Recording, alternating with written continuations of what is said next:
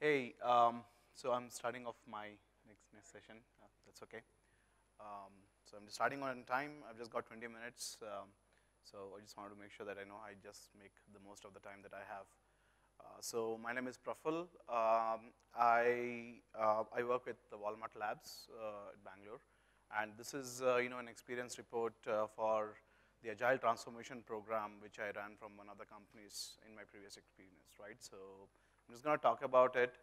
Um, I, I, know that the day has been very overwhelming in terms of you know scaling agile, and you know we've been hearing it uh, uh, from a lot of folks uh, who have gone past you know uh, giving the presentation. So uh, I think there will be one key takeaway from um, my presentation is you know I try to keep it very simple. Um, I really didn't put too much of complexity around you know.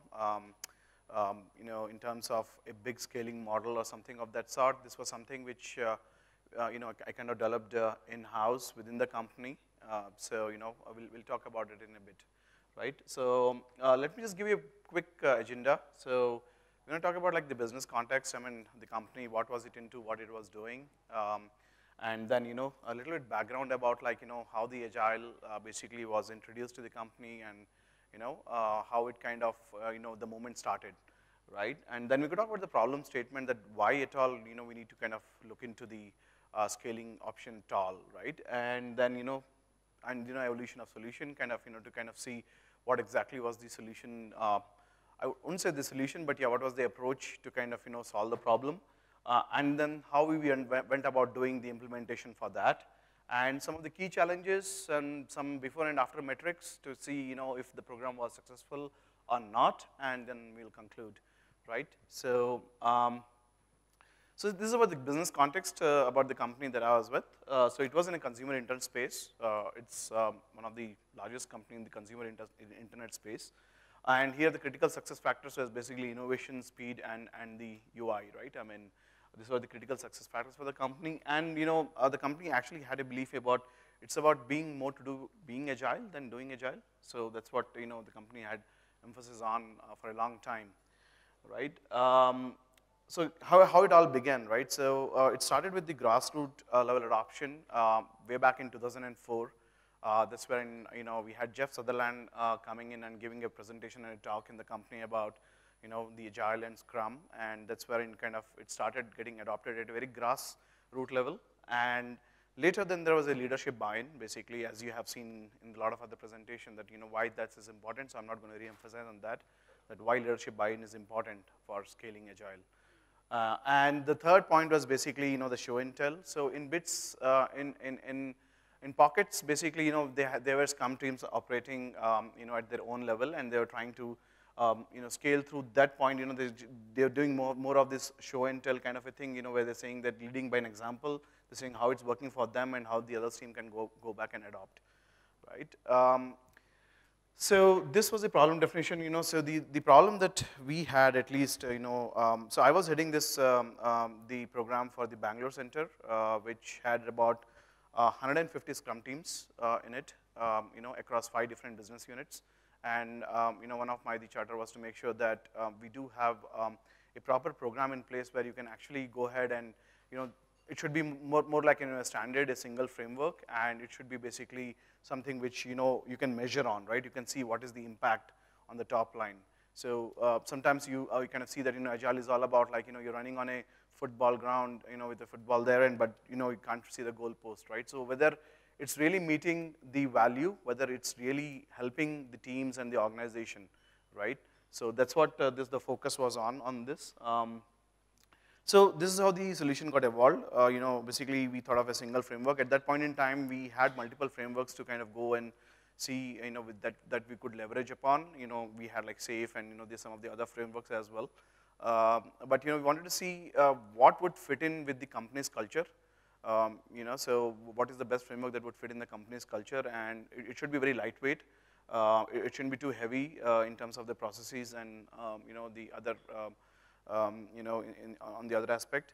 And then we kind of went about discovering what are the strategic pillars basically right this program should be having and then how to go about measuring the team's progress. Um, so this is kind of, uh, you know, if you kind of put it in the strategic pillar, right? So basically we had mainly three pillars for this program. One is the HR, the other is the process and tools, and the third is the capability building, which is what you call as the learning and development team. I mean, some of the companies, they do have the learning and development team, which kind of focuses on the training. Um, so basically the HR was more about like, you know, defining the role and responsibilities because, um, you know, we had uh, uh, folks basically, um, you know, who were traditionally the doing the people management, uh, the manager role basically, but we had to transform them into the more of uh, a servant leadership skill, basically the, to be a scrum master. So for that we wanted the HR to interfere and basically, you know, help do, you know, do the organization, the, you know, understanding what exactly the new uh, roles and responsibilities would be and help in the transforming of those responsibilities. Then we had people process, career development, rewards and recognition are related to that, and you know, hiring and onboarding, and, and basically, you know, the culture building. So that was the primary charter for the HR, and then we had the process and tools, wherein you know, we had the one-stop uh, shop process guidance in terms of anything that you might need on, on Agile, on scaling, you know, or basically on Scrum 101, 102 trainings, everything was available on there uh, in terms of you know, the governance. Uh, then we had a one-stop shop basically for anyone to go and look into um, um, you know, any, any of the information that they might need um, on, on, on, on, on Agile and Scrum. Um, and then basically, you know, one tool to support Agile. Uh, I mean, there were bits and pockets. Every team was leveraging on, you know, so we had legacy um, uh, tools as well there. Uh, and, and, you know, we wanted to make sure that we bring all the teams on the one single tool so that they speak the same language. They understand what exactly, you know, as goes through the, and we have, you know, one standardized metrics basically to, um, to, to measure them and then basically build strong agile community. This is this I think is very important, especially when you know any of the organization organization when it's going through the agile transformation. Uh, you know, building up the agile uh, strong agile community because uh, you know a lot of show and tell uh, actually are, are are the motivators for the other teams to kind of go and you know even to even try it out. Uh, and then we had the capability building. Basically, you know, this is the training needs analysis. you know, this uh, was basically done by the L&D team they, we used to work very closely to understand what is the gap, um, you know, the, the skills in, in for, for the teams, and do we need, you know, any external training or the internal trainings for the teams that needs to be done. Um, and you know, doing, doing any deep dive master classes basically, right? And, and creating the agile training portfolio in terms of, you know, for the various levels in the organization, right from the vice presidents to the directors and what level of training they would need and you know, what level of training the teams would need, right? So that's about coming up with the um, agile training portfolio. Uh, so this is what the agile maturity model, uh, which I'm going to talk a bit about, like, you know, uh, we're going to take some time on this. So, um, so this is how the teams were kind of divided, uh, or like not divided, I would say the team is measured basically in terms of how they stand in their agile adoption, right? So you could see that, you know, the readiness is like the basic, um, you know, phase for any of the team, which kind of, you know, they were kind of trying to getting, getting ready with the whole thing to what agile is, what scrum is, you know, getting all the 101 basics, right, trying to understand, right? So that's about the whole uh, readiness phase where they're trying to understand what agile and scrum and how that's going to work for the team. The second level is basically the adoption, which is basically, you know, practicing some of those, um, uh, you know, uh, methods, uh, you know, trying to do the uh, sprint planning and, you know, review and retrospective and daily stand-up, you know, and see how it's going to work with them and then basically, you know, um, being, being more efficient, right? So that was the next stage for the team uh, to kind of, you know, um, where, where they're deriving some value, right? So they're doing some velocity, you know, they're, they're doing the TDD and, you know, practicing, doing, doing, doing some, you know, XP practices, unit tests, CI and CD kind of a thing. And the last one was basically the organizational goals are met with the agile practices, right? So that was the ultimate so how do you kind of measure that, right? I mean, it's, it's too easy to say that, you know, organizational goals are met with the agile practices, but how do you kind of make it happen, right? So we'll, we'll come to that in a little later. And as you can see that, you know, uh, the, uh, the, you know, the training and the coaching basically gets kicked in at a different level where the teams are. Basically, the training kind of helps, you know, more at the um, readiness and the adoption level and some part to the efficiency level. But the coaching actually would take them to the next step in terms of, you know, how they kind of, you know, they have done this, uh, being, being understand what, you know, the, um, the daily rituals for us in terms of the scrum, you know, what is that we need to do, what is the sprint planning, what is grooming, you know, and all that. But when they kind of want to step up, like, you know, whether they want to do some, uh, bring in some, you know, extreme programming practices in the team, then basically they need more of a coaching at that point in time, right? So that's where you can see that, you know, the training and the coaching basically fits in a different uh, layers uh, here in their agile adoption. And basically, you know, on the other side, you can see, you know, the basic is basically reduced to the infrastructure, and then it's become faster through do- doing, you know, when you try to adopt and you know, when you have a cadence to it, when you kind of define your sprints, right? So it kind of becomes faster release cycles. Then you can try to do better with some of those engineering practices, right? You try to make it little bit more, more better. You try to de de deliver more value. And then you kind of, you know, the end goal is basically to know to deliver soft, uh, software as cheaper as possible in terms of the quality, having the right quality, right? So this is basically, you know, at a very high level, uh, the, what agile maturity model is. Um, so this is the KPI, right? So when I'm saying it was, it, it is a very lightweight process, this is what it means. So we had a simple scorecard, right? I mean, we really didn't go through the fancy, heavy, heavy, you know, um, so this is something which we came, which we discussed within the, uh, in the organization and which we came up with. So you can see that, you know, that each team basically has got their set of questions that they need to answer, right? To kind of see if they are, you know, in the readiness phase or in the adoption phase or they're in, in the efficient phase or they are really effective right? And this was a work in progress template, right? So this is very iterative uh, process again because you know it was not like you know it was one standard template that has been put across and you're not really working with the team to understand. So this has improved over a period of time because you know we kind of started with basic and when we, when we felt that you know okay we are we are there what next so we kind of reiterated on these KPIs and you know we try to make it more better you know to see you know what exactly would work in our context. So, uh, and this was the various color coding for the teams, like, you know, the readiness was in red and, you know, the yellow was basically the adoption and the green was efficient and the purple was, you know, being effective. Um, so this is what the dashboard looks like, right? So when I say for the 150 Scrum teams, how do I go and measure about doing it? So, you know, so this is what the dashboard looks like. This is where the team kind of gets started. Like, you know, you can see from September 2011 to um, you know, almost a year, right? So uh, you could see this, how the teams have transformed in their agile maturity model, right? So they started, so a lot of teams kind of started with red, and then, and then we, we had a lot of teams that kind of onboarded in between, right? So, so the, the uh, second column that you see, projects onboarded on ASAP, which is called as Agile and Scrum Adoption Program, right? So, so basically you kind of, you know, work with the team to kind of get this metrics month over month to see you know, how they are progressing in their agile journey, right? I mean, whether in their, in, in their maturity model, whether they're doing any better than what they were in the, in the last, few, last few months. And if they are not, then what is the issue? Kind of, you know, try to figure out and, you know, if they need help with coaching or they need help with training, right? So that's how you can kind of figure out in terms of, you know, um, how the teams are basically maturing in the, um, so this is kind of give you like an organizational picture as well that, you know, how this is how the organization is kind of moving from, you know, right from the adoption phase to all the way to the, um, you know, effective phase. Um, so this is basically the ASAP uh, dashboard management view.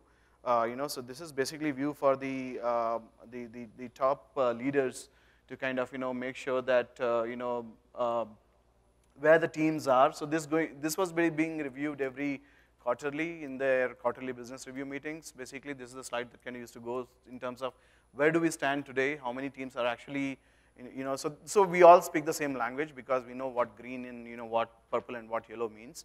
So we all speak the same uh, terms and we understand, you know, how many teams are needed, how many teams do need help to kind of, uh, you know, move to the next stage.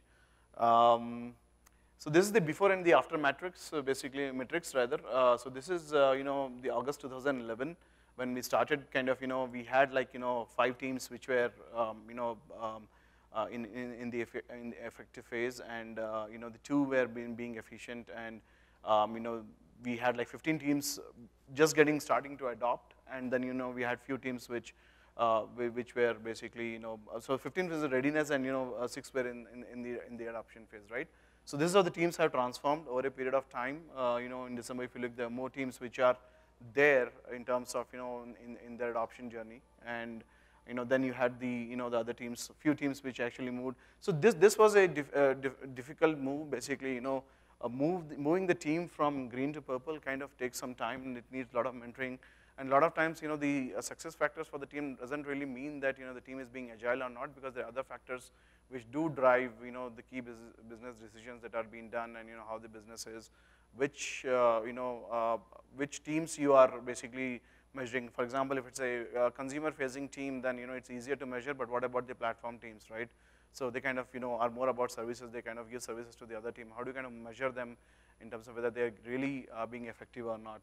But at a high level, this is the before and the after uh, view um, of, of, of the uh, you know, of the program. Um, so what are the key challenges?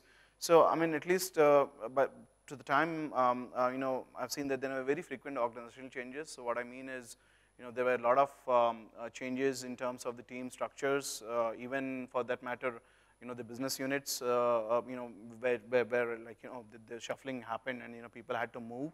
Um, so that kind of really made hard to kind of, you know, stick to the one team and to go when, like, for example, you, you started with one team and then you end up realizing that, you know, um, that team doesn't exist anymore, right? I mean, you know, because, you know, they have some organization changes that went through and, you know, that team doesn't exist anymore and it has been divided into some sub-teams, then how do I go back and, you know, correct my metrics in terms of there are few people here and few people in the other team, right? So, um, and the other uh, challenge was basically the preconceived notion on agile, uh, because as I said, the uh, actual uh, adoption started way, way back in 2004, and you know they had waves wherein you know the teams have tried it and it didn't work. So you know uh, when when you go and talk about people about agile, they say, yeah, yeah, I know, I know it, and you know we have done that before. You know it's not new to us. So that was really difficult, uh, kind of you know to get them out of that mindset, right? To say that you know been there, done that.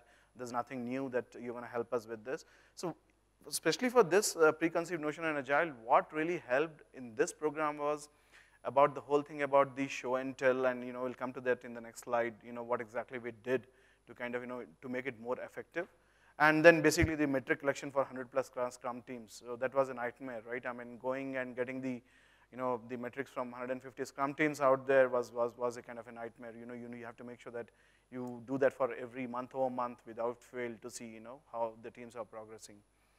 So, um, so these were the kind of enablers, um, you know, when I say uh, building strong community to promote show and tell through. So when I say show and tell, one was about the lightning talks. So, um, so the lightning talks were like, you know, not like uh, too detailed and it was like 15, 20 minutes or maximum 30 minutes talk, right? Where where the people would come and you know generally you know we had like you know architects coming in talking about what helped them to when they kind of moved from, you know, um, from a legacy system into like, you know, on a CI/CD model, right?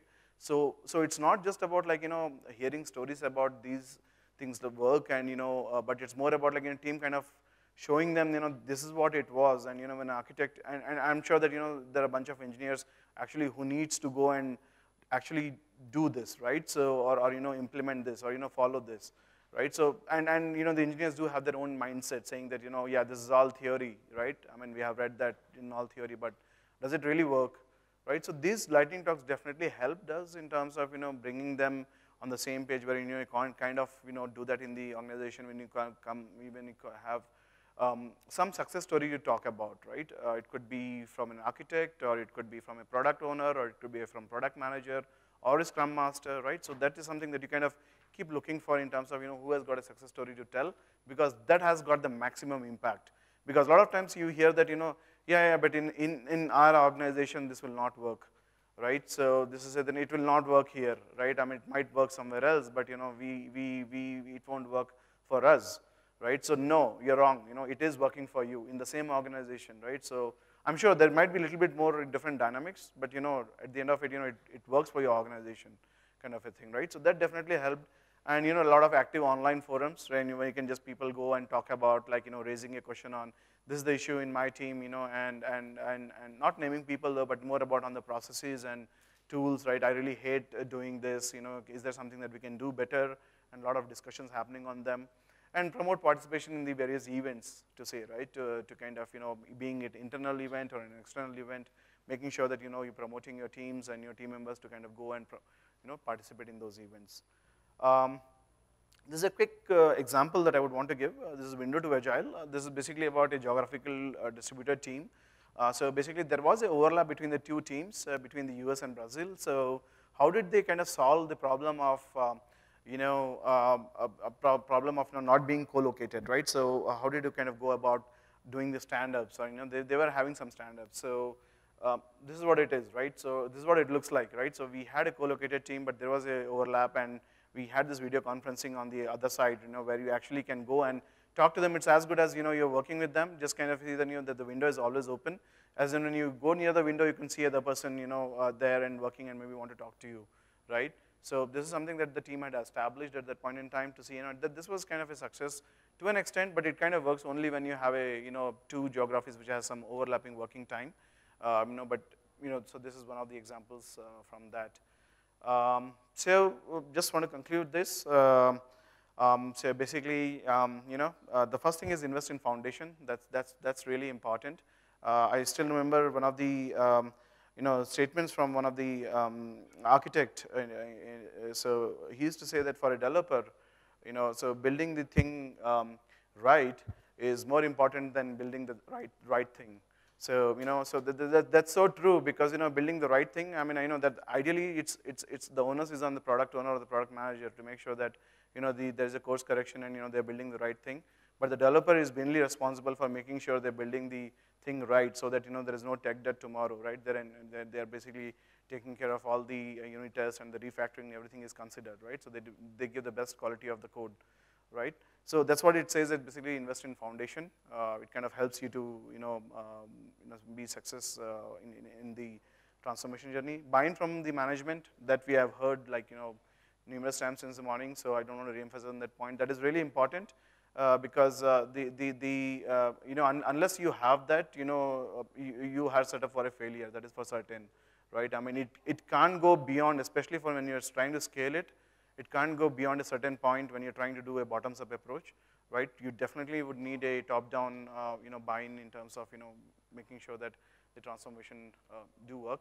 And work with structured freedom. This is something, um, you know, which is about, um, you, you give enough um, freedom to the team, but at the same time, you tell them that there is a boundary around them, right? So, so that, you know, they can be more innovative, but at the same time, you also tell them that, you know, you can't just go and cross your boundaries, so it's more of like, you know, working with a structured freedom basically, right? So you kind of tell them that, you know, this is the thing that you could do within, you know, and, and so what it helps is, you know, it kind of brings in the innovation, um, you know, element into the team wherein they can go outside the box and they can think about like, you know, something else. But at the same time, they know that, you know, they have to go back and, you know, deliver on this, these particular pieces, right? So it is not like I'm, you know, I'm doing completely something orthogonal which, which doesn't even relate to my, my work, right? So that's about like, you know, working with the structure freedom. So this was a quick 20 minutes uh, talk. Uh, I just tried to keep as short as possible in terms of the content, slides, and you know, so I hope I didn't bore you much. So that's pretty much. This is me, and uh, you can connect me at uh, praful.rao at gmail.com. And thank you. Thank you for your time. Any questions?